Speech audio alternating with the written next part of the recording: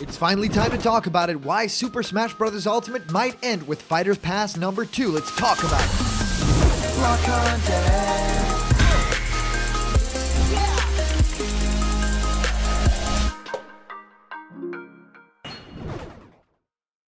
What's happening, my Block buddies, and welcome to a brand new episode of Blocked Content's Leak Speak. My name is Callum, and this is going to be your content for today. Today, I actually wanted to break it all down and talk to you guys about Super Smash Bros. Ultimate's Fighters Pass number two, and why we here at Blocked Content think that it might be the end of Super Smash Bros. as we know it. Kind of like the end of an era, not necessarily the end of the franchise per se, but this might actually be a huge bookend to what we've known as the Sakurai verse, right? If you think about it, it is very unlikely that after Super Smash Bros. Ultimate, Sakurai will stay on as the director for Super Smash Bros. It really feels like Super Smash Bros. Ultimate is the ultimate possible game in the series, with all of these third party characters, with Sakurai pulling out all the stops to create this perfect game, and of course, everything perfectly coming together, even as far as saying, you know, everyone is here. That first trailer just took everyone by complete surprise. Now, what is incredible to me is how well Sakurai has put it all together, right? Sakurai really worked very hard to keep the fans' love and fans' expectation also, really, and meet those expectations. With Super Smash Bros. Ultimate specifically, it really feels like Sakurai is actually not even meeting the fans halfway, but he's doing everything in his power to actually make us happy in terms of adding different modes and play styles that are, you know, geared towards tournament players, to even adding characters that he previously said were just impossible and that he would never do, right? Ridley being too big, and of course characters like King K. Rool not even being, you know, in the public eye anymore. And it truly feels like, for me, this could be it, right? This could be the final game that Masahiro Sakurai himself directs. And of course, I've been answering many of you guys' questions about Smash Ultimate and new fighters in our show Question Block, where I answer your questions. What do I think of your favorite game? How do you start making YouTube content? Whatever you can think of, send your question through to blockedcontentmail at gmail.com, and I will answer your question live on the show in our next Question Blocked episode. Now, to talk a little bit more about Super Smash Bros. Ultimate and why I think that it actually might end with Fighters Pass number two, well, it's very simple. I think that we are on a little bit of borrowed time in terms of the DLC of it all, right? It felt like Super Smash Bros. Ultimate wasn't really complete when it launched, right? It really felt like as the final character being Incineroar, yeah, that doesn't really make sense. It feels like we are indeed in need for a couple more characters. And when we got that first Fighter's Pass, or as we known it back then, just the Fighter's Pass, felt like this might be a perfect bookend to all of those characters. Well, of course, now we know that isn't the case, and I think Byleth was already a little hint at what's to come, right? It didn't feel like that was the big ending character that everyone had hoped for, right? If that character, Byleth,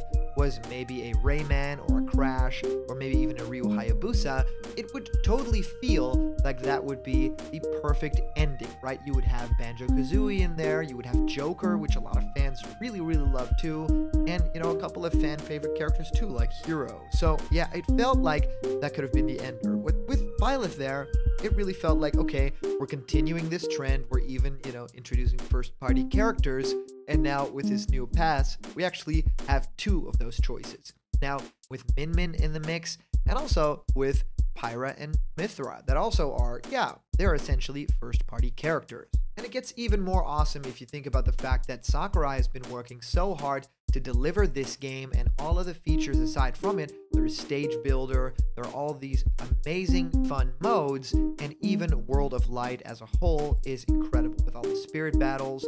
But it feels like this could definitely just be the end of what Ultimate is, and it could be carried into the future. There are also a lot of fans that are thinking and saying, maybe this could actually spell the end of Ultimate, but the beginning of something new. Maybe the Smash Brothers franchise needs to evolve and grow a little bit before it can really perfectly change and become something new. So, a lot of players, myself included, have actually thought that maybe the next Smash Brothers game will actually scale down a right? Maybe the idea here is not to build things out even more because you can't really get bigger than Super Smash Bros. Ultimate. Now, to just say the obvious here, it isn't very simple to get all those characters that are in Ultimate back for the next game.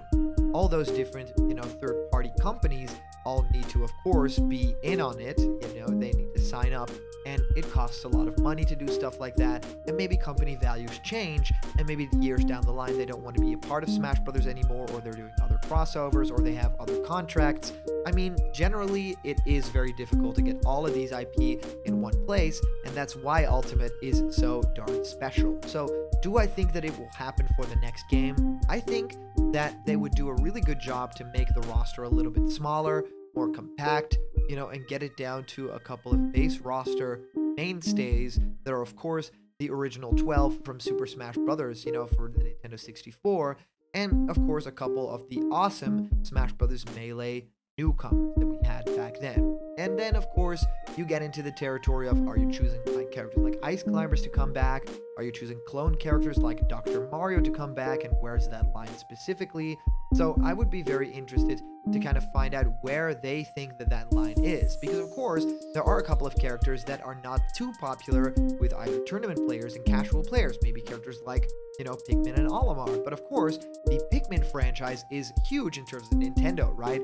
It is a franchise that is alive and vibrant to this day. So even though maybe a character in Smash like the Duck Hunt Duo might be a little bit more popular as a playable character than maybe Pikmin and Olimar, or you know, take any of those other examples, I mean, you would still want to keep a character like that in there in favor of, you know, a retro kind of wink character like the Duck Hunt Duo. So I think that there are a lot of choices that they need to make in terms of is this the final game? Are we going to get more? And if the next game is coming, is it going to be downsized, right? So the danger here is that if this is in fact the final Super Smash Bros. game that Masahiro Sakurai directs, and we go out on a huge bang, right? Those final two characters would be something incredibly cool, then I could only wonder and I could only say maybe this could be big farewell for Sakurai, and maybe the Smash Bros. franchise has to wait a little bit before we get the next entry in the series, right? They really need to find the right director. Maybe it is a director that has already done fighting games, or maybe it is a Nintendo first party studio, maybe the Mario studio that does all the great, you know, the Odyssey games and stuff like that.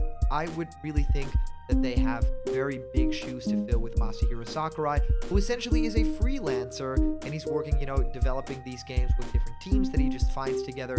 I think that there is, you know, a very big possibility that it's just not going to happen that we're not going to find a director quite like Masahiro Sakurai. There is, of course, a chance that Sakurai returns and that we get another Smash game with Sakurai at the helm. I would think that Mr. Sakurai himself would probably say, I will do this until the end, right? He wanted to quit after Melee, he wanted to quit after Brawl and after Smash for Wii U, but then with Ultimate, yeah, it really felt like, hmm, maybe Masahiro Sakurai is in this for the long haul. So I'm generally really curious what you guys think of all this. You know, do you think there is going to be another Smash with Sakurai after Ultimate? Let me know down in the comments below. Of course, I would love to hear what you guys think of all this.